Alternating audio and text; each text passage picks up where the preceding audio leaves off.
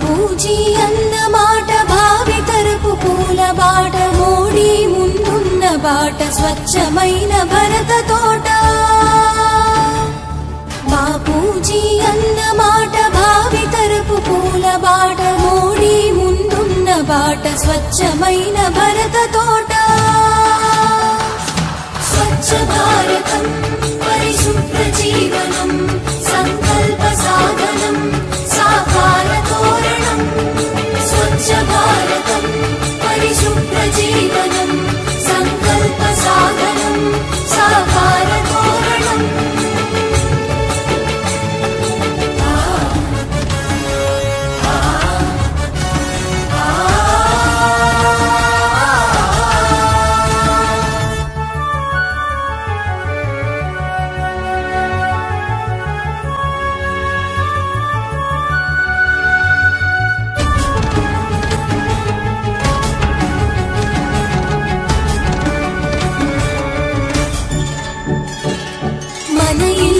మన వాకిలి మన జిల్లా మన రాష్ట్రం మన దేశం మనమంతా మమేకమై కదలాలి. మన ఇల్లు మన వాకిలి మన జిల్లా మన రాష్ట్రం మన దేశం మనమంతా మమేకమై కదలాలి. కలుపు మొక్కలా ఇదిగే కాలుష్యపు కోరలనిక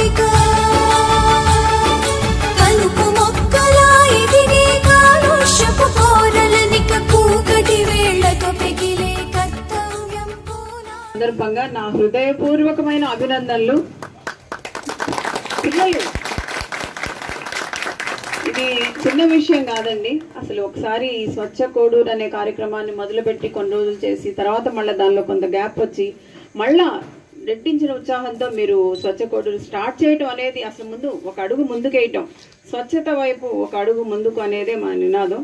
అట్లా మీరు ఇంత బాగా యాభై రోజుల పాటు చాలా ఎఫెక్టివ్ వర్క్ జరిగింది. ఇందాక చిన్న వీడియో చూపించారు. అది కూడా చాలా బాగుంది.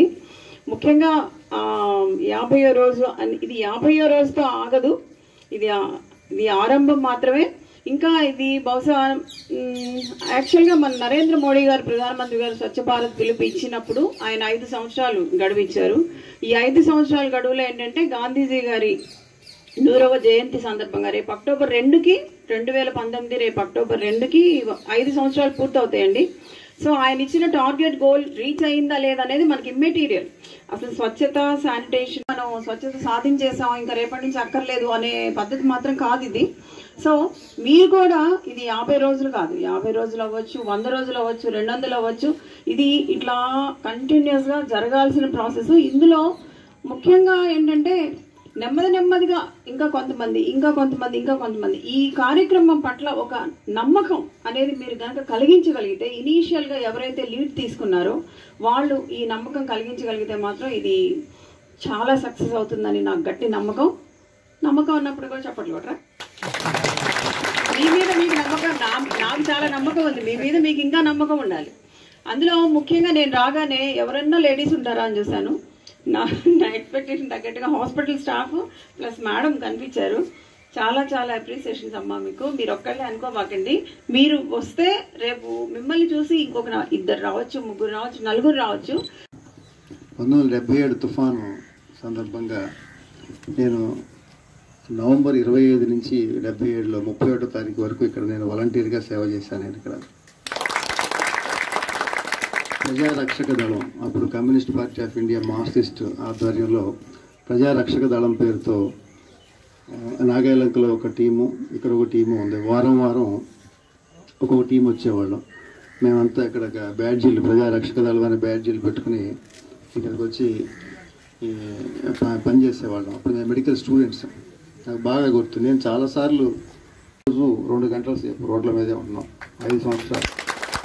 సుమారు అరవై రెండు సంవత్సరాలు నా జీవితంలో అత్యద్భుతమైన ఘట్టం ఏదైనా నేను మర్చిపోలేనిది సంతోషపడేది ఉంటే నా యాభై ఏడో సంవత్సరంలో మొదలైంది రెండు వేల పదమూడు. అప్పటి నుంచి ఇప్పుడు దాకా ఏడు సంవత్సరాలు మాత్రం అద్భుతమైన రోజు అనమాట ఎంత సంతోషం ఉంటుంది. ప్రతిరోజు థ్రిల్లింగ్ అవటం ఇంతమంది నిస్వార్థంగా అసలు తనకు కాకుండా తన ఊరికి తన గ్రామానికి తన కుటుంబానికి కాకుండా తన పిల్లలకు కాకుండా గ్రామం కోసం లేకపోతే సొసైటీ కోసం వాలంటీర్గా వచ్చి పని చేయటం అనేది ప్రతిరోజు థ్రిల్లింగ్గా ఉంటుంది. వీళ్ళంతా ఎందుకు చేయాలి నిజంగా?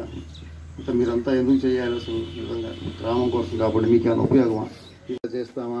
సింపుల్గా ఏదో కొన్ని రోజుల పాటు చేద్దాం ఒక యాభై రోజులు వంద రోజులు ఇట్లా అని. మాకు కూడా చేసినప్పుడు ఏం తెలియదు.